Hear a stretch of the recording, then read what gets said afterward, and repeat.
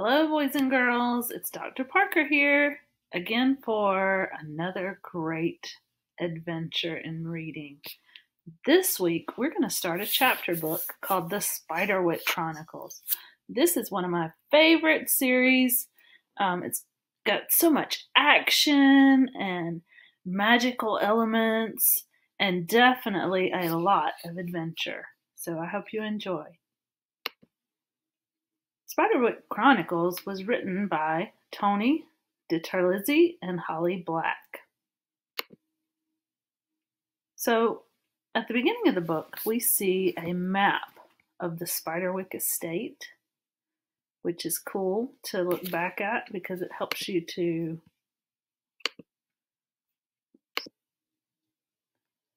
it helps you to understand where all the places uh, the characters visit in the story are located um, with respect to the estate.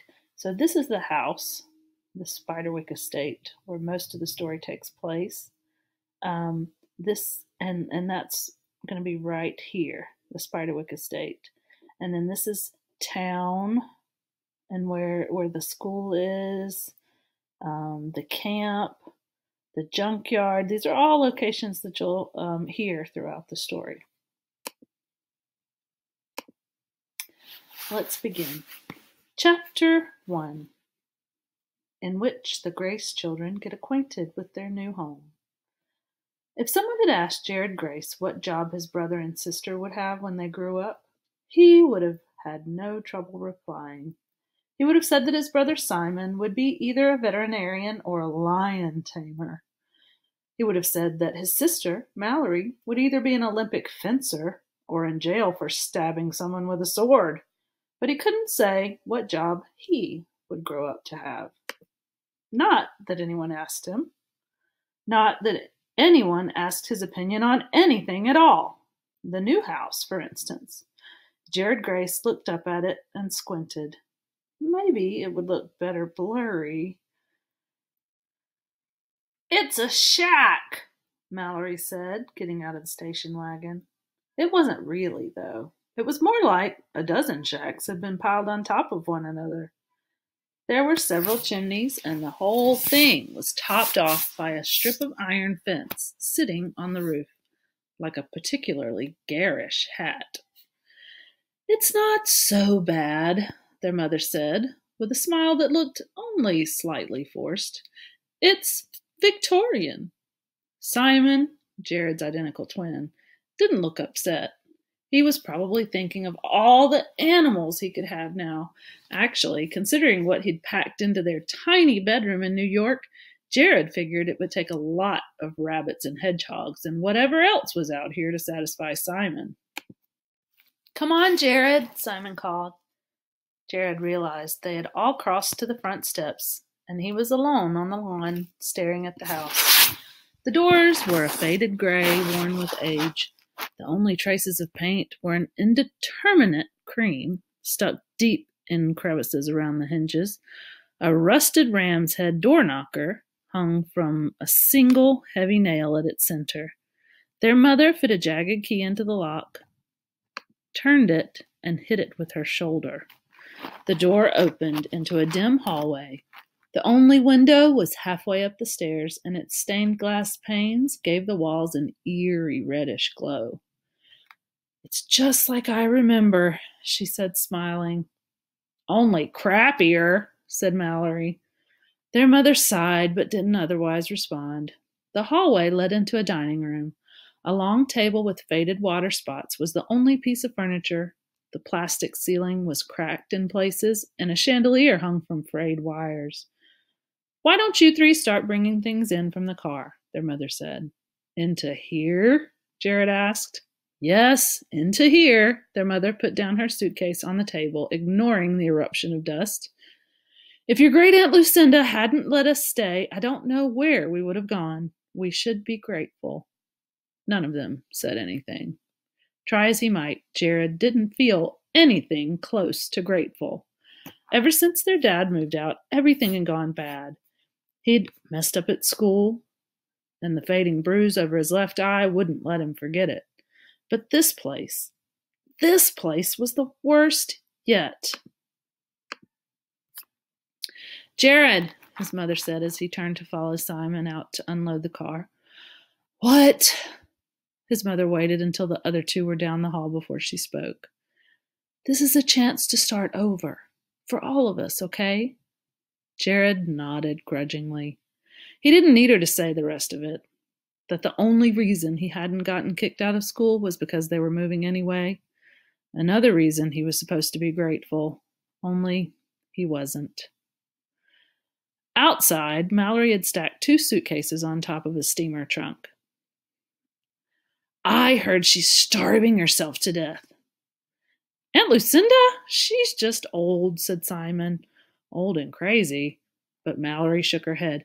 I heard Mom on the phone. She was telling Uncle Terence that Aunt Lucy thinks men bring her little men bring her food. What did he expect? She's in a nut house, Jared said. Mallory went on like she hadn't even heard him. She told the doctors the food she got was better than anything they'd ever taste. You're making that up. Simon crawled into the back seat and opened one of the suitcases. Mallory shrugged. If she dies, this place is going to get inherited by someone, and we're going to have to move again. Maybe we can go back to the city, Jared said. Fat chance, said Simon. He took out a wad of tube socks. Oh no! Jeffrey and Lemon Drop chewed their way loose. Mom told you not to bring the mice, Mallory said. She said you could have normal animals now. If I let them go, they'd get stuck in a glue trap or something, said Simon, turning a sock inside out, one finger sticking out a hole. Besides, you brought all your fencing junk. It's not junk, Mallory growled, and it's not alive. Shut up! Jared took a step toward his sister.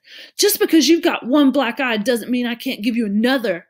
Mallory flipped her ponytail as she turned toward him. She shoved a heavy suitcase into his hands. Go ahead and carry that if you're tough. Even though Jared knew he might be bigger and stronger than her someday, when she wasn't 13 and he wasn't 9, it was hard to picture. Jared managed to lug the suitcase inside the door before he dropped it. He figured he could drag it the rest of the way if he had to, and no one would be the wiser.